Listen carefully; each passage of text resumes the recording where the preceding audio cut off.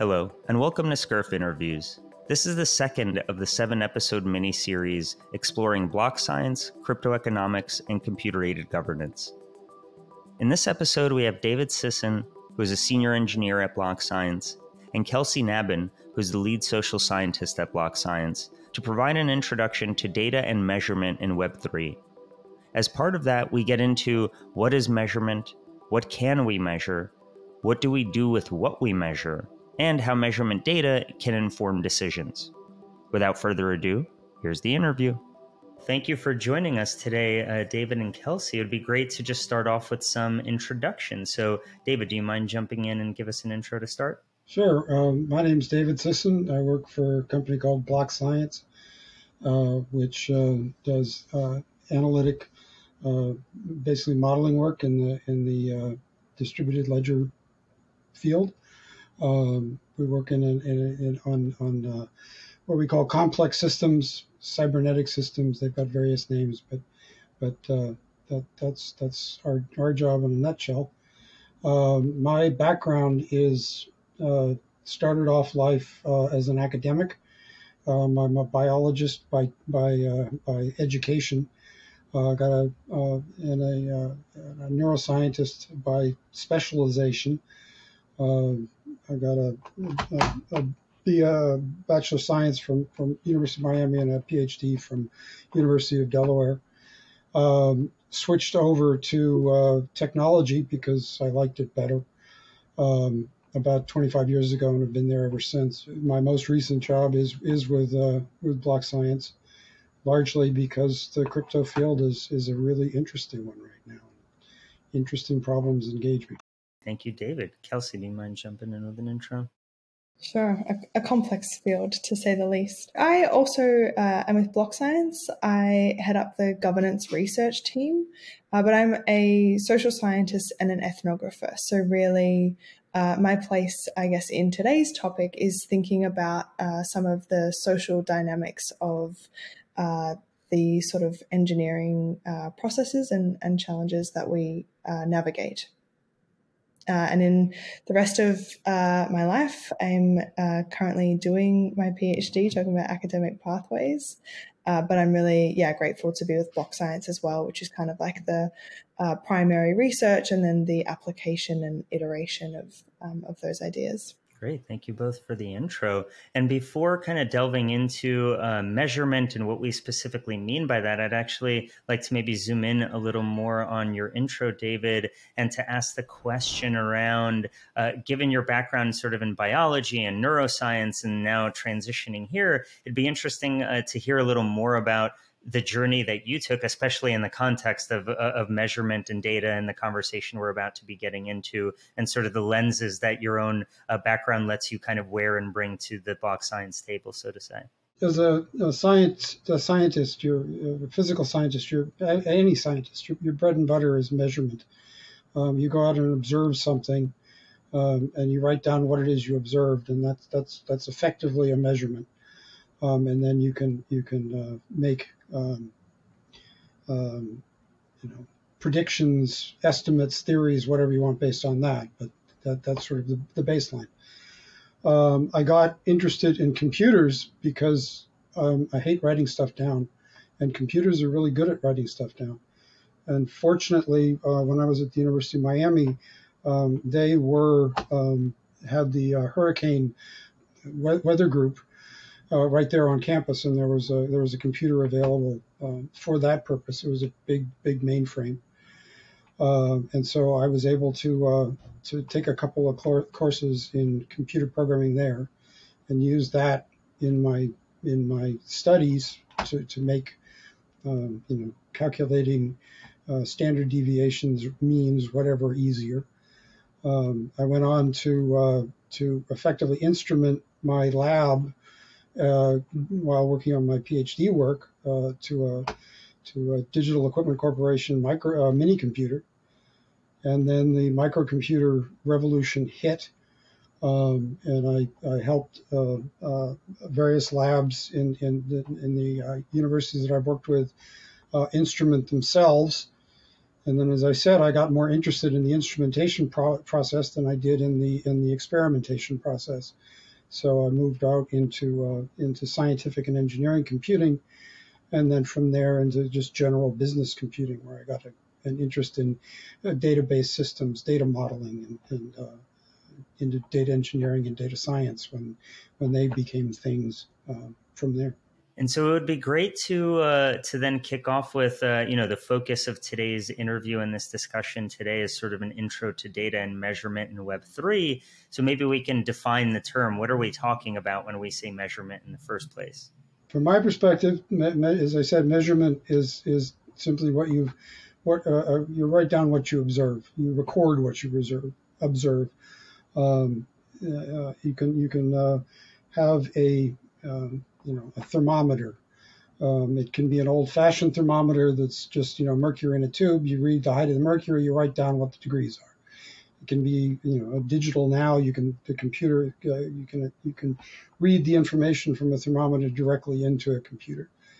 Um, those are the sorts of things I call measurement.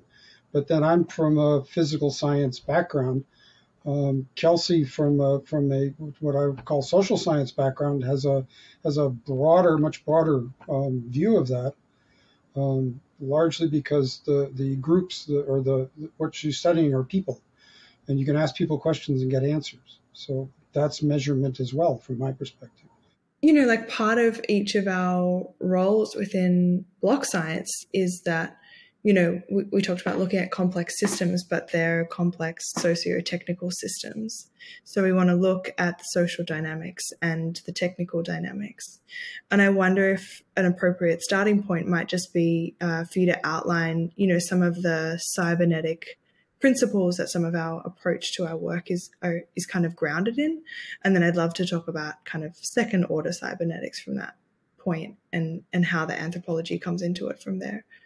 Officially, cybernetics is the science of control and communication. Um, in our in our uh, definition of it, it's really the study of, of complex systems, and and by complex systems, I mean sort of systems of systems, um, with probably a little autonomy thrown in for good measure.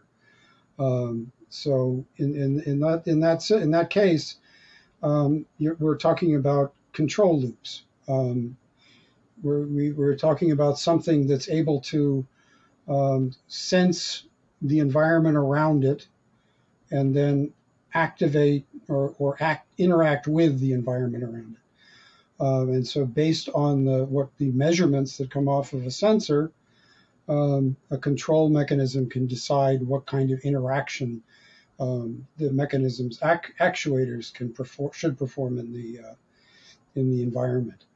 Um, and so that, that becomes anything from a relatively simple machine, uh, you know, sort of a, a robot uh, being, being uh, given instructions for how it can move itself around a maze, or it could be something as, as complicated as a um, organization of people or a, any kind of so society of people and how that society is governed. That's exactly right. So when we're talking about you know, the control of a system, the word control there is kind of synonymous with the idea of governance. And it comes from this Greek word, Kubernetes, which is like steering or steering the system.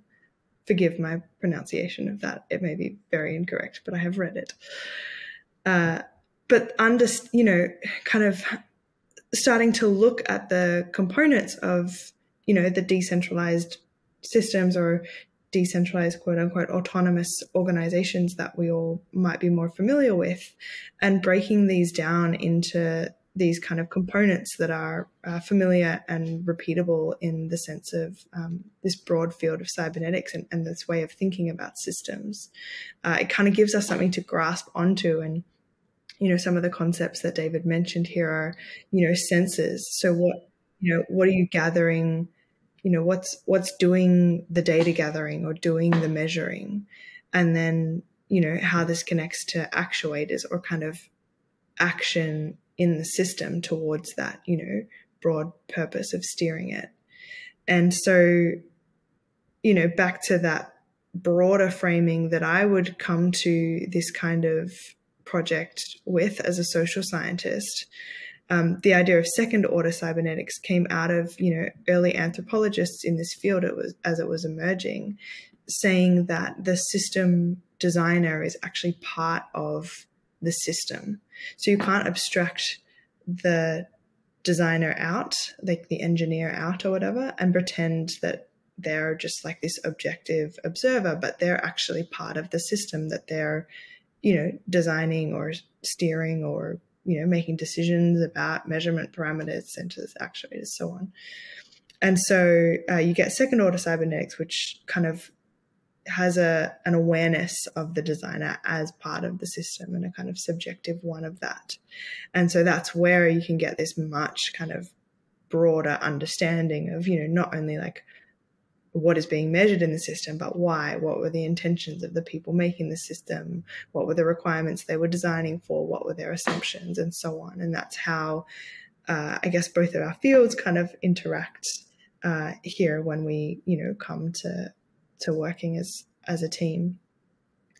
Uh, but I guess on that, uh, David, you had a really interesting um, presentation that you shared with some of the team fairly recently around the idea of data, and I think that's uh, another one of these, you know, kind of fundamental. We all know, but we don't think about, you know, what this kind of concept means, and maybe something to help us um, orient in our discussion of kind of measurement and communication.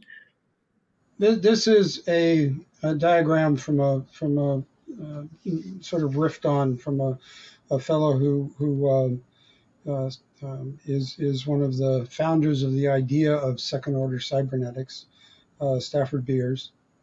Um, Kelsie, let me know if I got his name right.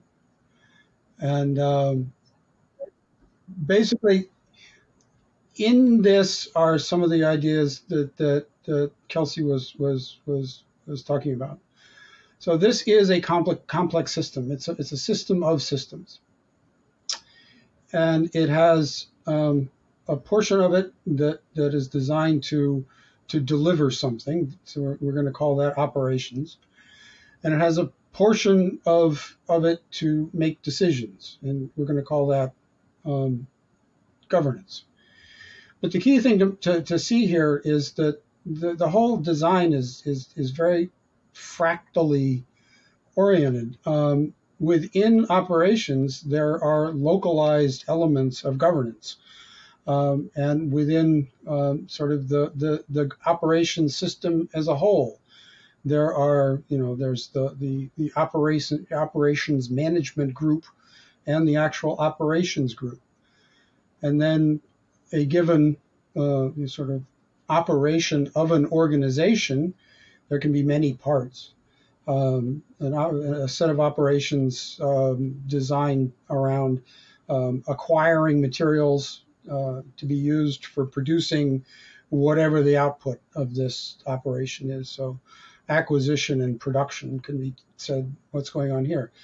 In order for this to work nicely, um, you have to have coordination between these two groups and that's part of the job of of governance. And so that's where we get into this this bottom level of governance delivery, and and being able to communicate, uh, coordinate the the operations and the uh, the different operations team, make sure that not too much is ordered for what the what the capacity for for output is. Make sure that the output capacity to deliver um, is is uh, um, in in line with what the market can bear those, those sorts of things.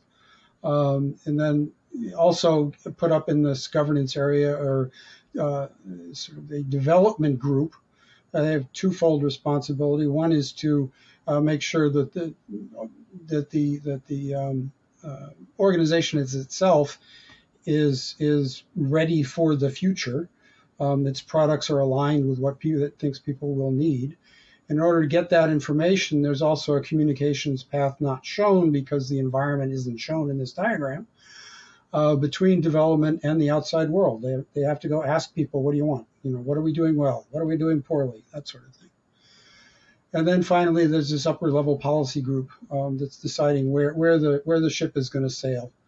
Um, get gets into the the, the Kubernetes uh, metaphor that that, uh, that Kelsie mentioned uh, somebody's got to make the decisions about about destination. this is actually first order cybernetics here. The missing piece, which is effectively the, the background of this diagram, is the environment in which this particular operation is working. So the the the the, the idea that this organization in and of itself is part of the environment in which it works is effectively the, the addition that second order cybernetics brings to the brings to the table. I just want to say on that, you know, this is uh, David's redraw because part of what he does is diagramming, which is not a skill that I have, of what is called the viable system model. And so Beer wrote this in uh, 1972 uh, in a book called The Brain of the Firm. And that, you know, that irony of David saying that he comes from biology and kind of a neuroscience background. But it was thinking about, you know, how do you make a viable system that is fully functional, but as autonomous as possible? So, how do you have those operational units down the bottom being able to have, you know, operational autonomy? while still working as a you know cohesive whole, uh, or called you know they call it kind of harmonization in that text. The key tenets of biology is is the the idea of evolution, um, survival of the fittest, and that kind of thing. There's competition, so this organization doesn't work in a vacuum. It it, it works on uh, you know alongside other organizations, some of which are it, it is cooperative with, some of it which it is competitive with, and some of which it's both. Um, so under those circumstances, um, you, you need to get this organization tuned properly in order to be both effective and efficient. Because if somebody can be as equally as effective and more efficient, you'll get outcompeted. Or if somebody can be more effective, they can be a little less efficient, and they can still beat you. So, so the idea that, that Beers has is sort of these are the, the, the communications channels that are key in order to effectively manage what are um, semi-autonomous or autonomous, could be truly autonomous groups. Uh, in order to be effective and efficient, these operations teams need to be empowered to make their own decisions because they know their systems better than anybody else. Um, if you wait for this, this you know, the, the, the Ubermensch up here to tell you what to do, it may be too late. Um, um, so that you know, th- this is a good balance of effectiveness and efficiency. Um, in that, in that you have operations teams that can basically do their job, and and governance that has the information it needs to make sure that you know they're doing the job that they think that that, that, that, that they're they're supposed to be doing. Um, but in more broad terms than you know this is how I want you to do it.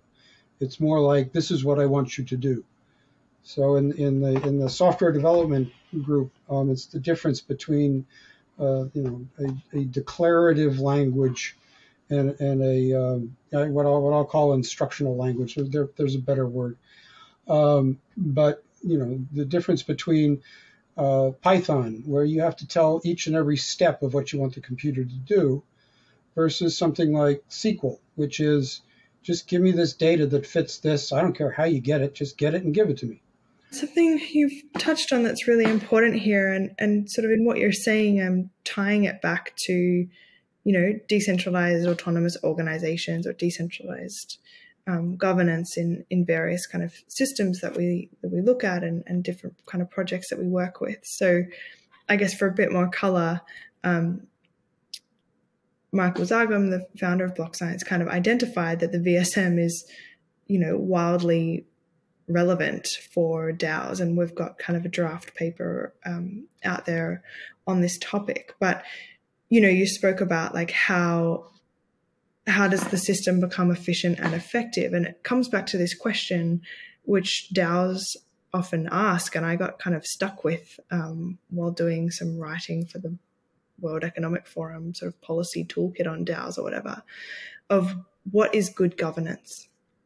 And I think this model gives us kind of a key there when people are thinking about, you know, the design and operation of their own system and, you know, this idea of what is good governance. but there's clearly shared value across all scales of this organization from the operations and the governance around what the purpose of the organization is. And so that, you know, clarified or shared, you know, goal is still what each section is working towards. And that helps create kind of structure with as least hierarchy as possible and sort of fit within this idea of an autonomous organization, which I think is really important because, uh, you know, in the broader context of measurement, there's a question about value as well. And like, like, you know, you want to measure what is valuable within the organization or the system, for example, but how do you determine that? Okay, well, what is the purpose of, you know, the system? Well, where is that? You know, okay, in a DAO, like have has a group uh, started with their, you know, with constituting the organization? Like, is there a declarative thing? Is that, you know, formalized or implicit? Um, and all of these questions, which are actually quite uh, practical, you know, this is like just one sort of tool in the toolkit or one sort of theoretical framework, but, you know, something practical to kind of guide and orient, you know, the open slather of decentralized governance or measuring a complex system. Well, the, the scientist in me always wants to answer a question that's been asked. So my, my answer to that would be from a data perspective, it's often important, and I'm, I think I'm being conservative by using the word often. It's just important to um, to to take the frequency of of what's going on into account. Um, so are there, you know, there, there, are things that happen at a high frequency. There are things that happen at medium frequencies. There are things that happen at, at low frequencies. Um, if you're an audiophile, you've got a speaker designed specifically for each of those things. And you, you don't want them to, you know, you want the crossovers to be just right so they don't get in each other's way. Um, similar thing going on here. Operations happens at a very fast pace relative to everything else. Uh, and it's kind of answering uh, the how uh, when and where questions. Um, and then governance up here is is more around the whys and the whats. And the whys you don't want to change very fast, otherwise people start getting confused. Um, and whats um, you want them to only change as fast as they need to, otherwise you're just churning. Um, so you know that that separation based on um, frequency of of uh, of operation, of, of action, I think is is probably one of the main reasons why this division is is so important. It would be really interesting if uh, if you could both provide, because I think this framework and visualization are are, are very uh, helpful, and I wonder if you would mind jumping into maybe a concrete example, uh, ideally one that y'all have explored at BlockScience, to kind of just help in, in, case someone just heard all of that and they felt that was still a little too abstract for them uh, to maybe bring it down with some more specifics uh, of what it actually looked like when when working with an organization and trying to understand how uh, this mapping actually looks in in real life, so to say. The example that we speak about uh, in that working paper by Zargham and I, that's on uh, how principles in cybernetics apply to decentralized organization, is a DAO called 1Hive. And actually, Zargham was involved uh, from quite early in the 1Hive community because they adopted conviction voting, which is a mechanism for collective signaling of preference. But what we do is we kind of break down some of the core components of the governance in 1Hive and we map that against the VSM. And we call that a constitutional model in that paper, or, you know, kind of one way to, you know, achieve a viable decentralized autonomous organization is by, you know, observing this pattern where the organization has uh, that shared purpose and that is constituted. So, for example, in 1Hive, they have a, community constitution. Um, other DAOs, you know, will sometimes call that a manifesto. Um, some projects that have transitioned to becoming a DAO or exited to DAO, you know, have called that like their terms and conditions of the use of the platform, for example. Uh, but then coming back to 1Hive, uh, what they then have as some of the other key pillars of their governance are conviction voting, which is around this uh, collective uh, signaling of preference, and that's how they pass proposals. So, what they're governing here is their treasury or the allocation of resource towards the goal of funding open source software development. And that open source software is being applied within their own ecosystem. So, it's a closed loop system, which is, you know, that kind of idea of an auton- autonomous system is that it's, uh, you know, uh, politically independent and functionally independent as well. And so through conviction voting, there's this collective way for people to uh, put stake behind a proposal that they want to see funded. And then once that's passed, the working group that is granted that money is operationally autonomous. So they're still operating within uh, the broader goal of the system to build open source software, uh, but they can build that however with whoever they want and then the accountability, the accountability or enforcement of that, or where we see governance come back in to help uh, steer that system, I guess, uh, is in their use of Celeste, which is one tool which they have built to govern themselves, and it's a decentralized court, and so that has a, a whole policy process and a jury and semi-automated and so on. And you can look at the docs um, which is very well documented um, by by their team and their internal wiki.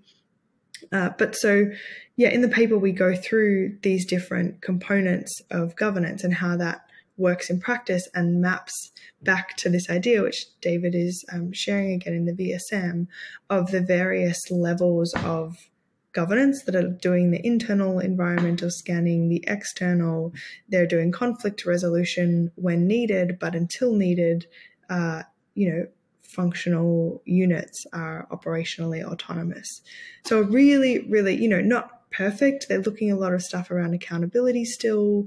They've done a trial in retroactive funding, which uh, was positive. Uh, so this idea around um, measurement again and, and what they're kind of measuring within their own community is, you know, what is value? So in retrospect, when the community does a conviction vote on what has been built, what do people think was actually valuable when it was built? Uh, but yeah, that's that's one example I continually come back to again when when people ask me as well, like, are there any DAOs that actually work?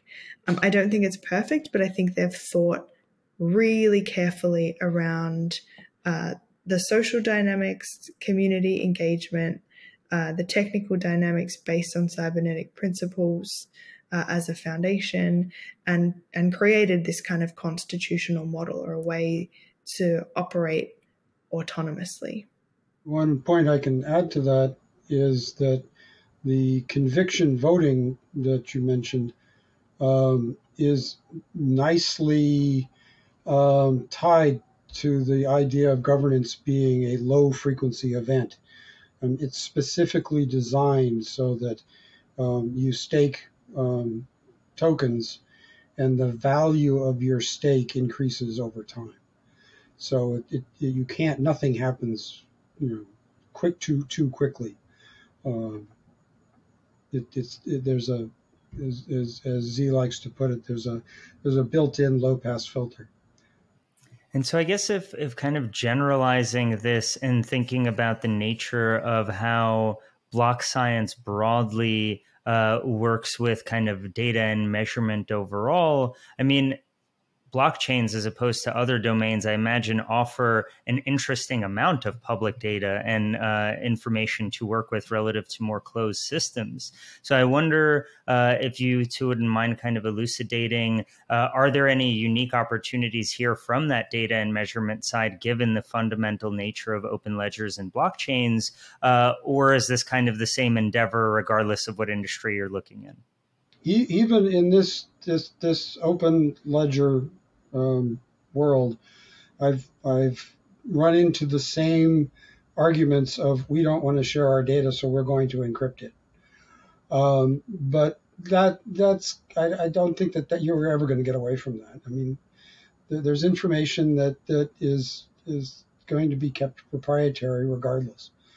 Uh, but what what what um, what the ledger does allow you to do is it, it, it shows you the, the dynamics of all of the interactions between at least addresses um, so that you can go back and, and create effectively a temporal record of what went on. You can you can from that you can sort of build estimates of state at, at given points in time. So there is there there is in this system a, a set of data that you can measure that or that you can you know there's a set of measurements that you can turn into data um, that you can then go on and, and process and and uh, create models with which to predict what's going to go on and make decisions based on that. Yeah, or evaluate what has happened as well. Like one really interesting area that we've been exploring as a team in some of our kind of open source research is uh, investigating the governance surface of these systems. And so we talk about that concept of the governance surface in the governance podcast episode in this series. Uh, but you know the boundaries uh, that set the you know the field of action of, of where you know governance is actually enacted or occurs. But projects can have you know a lot of ideas. You can read their constitution. You can talk to people. You know about like what is your governance surface? How does governance work? What is possible? Who are the stakeholders? What actions can they take? But then the data scientists can actually go and look at that. They can look at the addresses and the actions that have occurred and, uh, you know, look at the smart contracts and look at the parameterization of governance within those and, you know, what is made possible and, you know, what is happening, um, you know, on chain or, or off chain or what is kind of becoming you know automated through through smart contracts as well uh, and that's just been a fascinating uh, breakdown and I guess application of some of these methods in practice. And so, I guess related to that, it'd also be really interesting to hear what are the kind of research questions that you all are exploring, uh, kind of building on this kind of data and knowledge that you are able to get. From just a data perspective, um, I think there, there's there's a lot of sort of basic work that needs to be done um, in terms of sort of classifying and categorizing entities based on on, on their behaviors. Um, it's it's kind of where, where biology was in the in the you know, 17th 18th century. Uh, just go out in a boat and, and, and, observe a lot of stuff and write it down and come back and see what fits together. Um, and and you know I have a, I have an interest in in uh, you know good naming of things.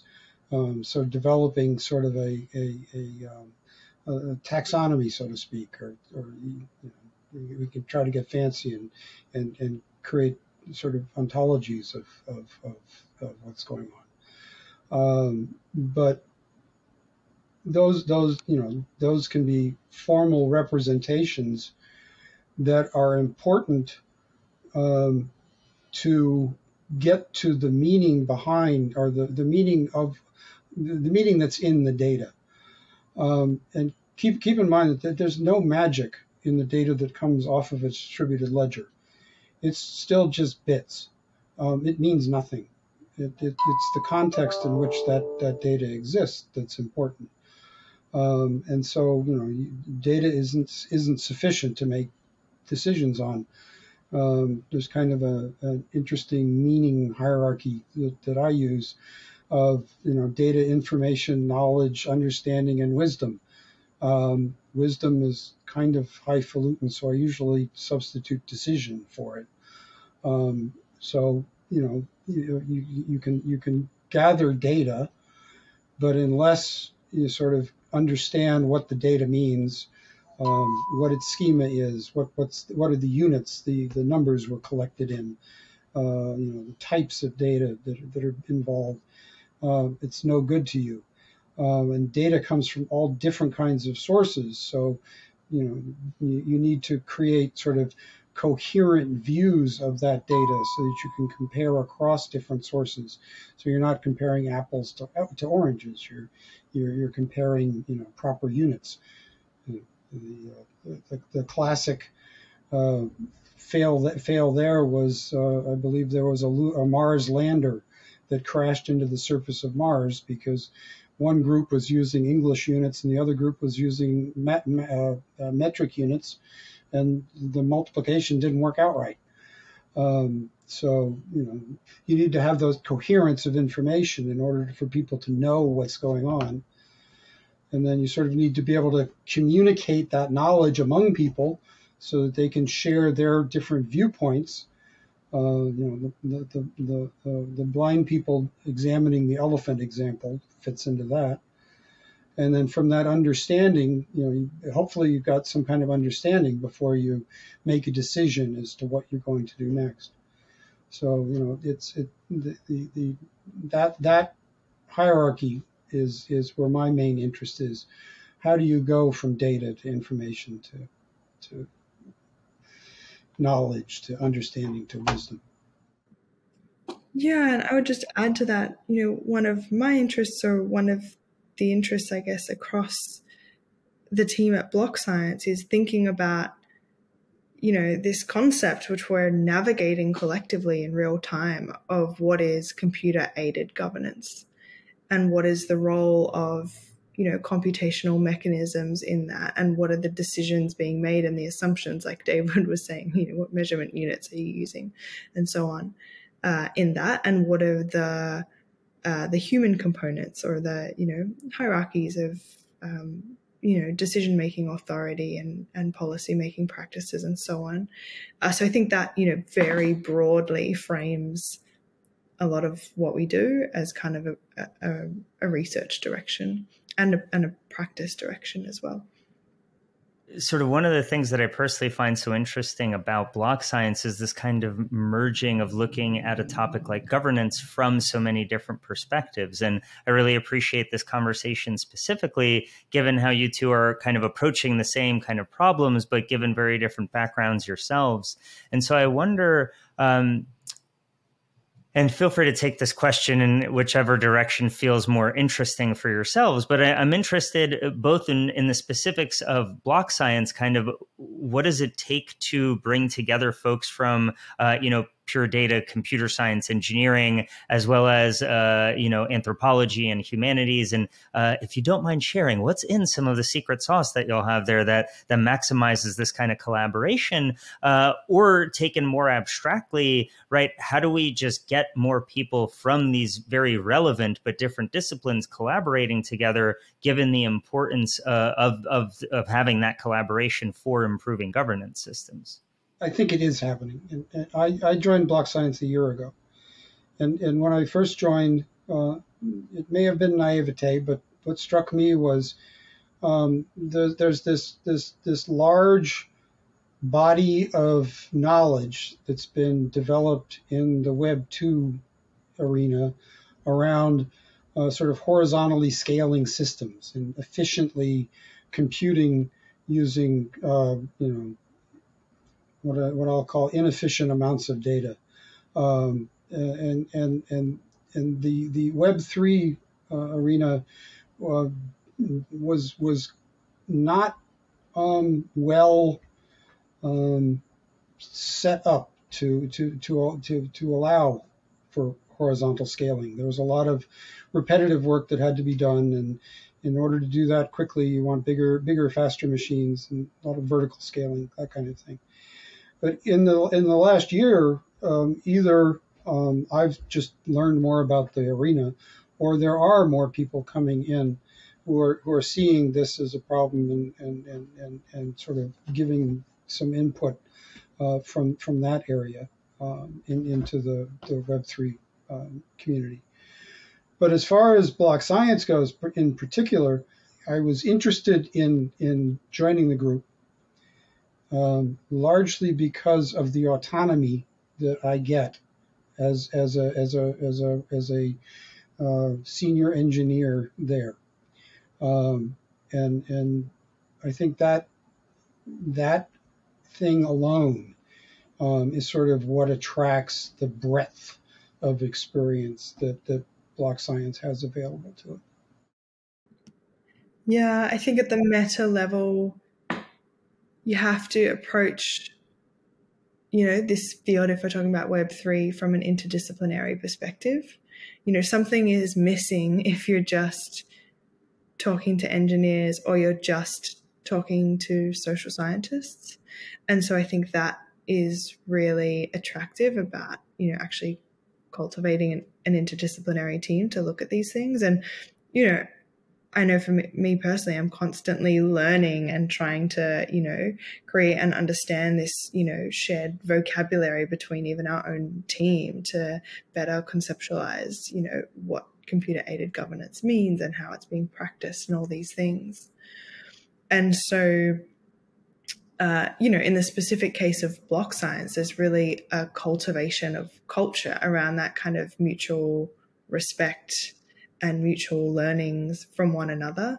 And then it's, yeah, how do you get great people to and let them work on the thing they want to work on? And sometimes that's uh, open research, sometimes that's applied in projects, and the kinds of projects range from, um, yeah, governance design, grant system design, um, governance evaluation. We've done stuff on, you know, DAO vulnerabilities and um, and so on. So uh, yeah, it's very broad. Like there's there's more um, you know need for for research and system design than there are you know people to do it. So I think um, yeah, it's a really open field for uh, kind of play and experimentation and application and, and learning. And I think there's just a culture which aims to facilitate that as, as best we can, which uh, thus far has attracted and retained some really, you know, fascinating and, and brilliant characters just to go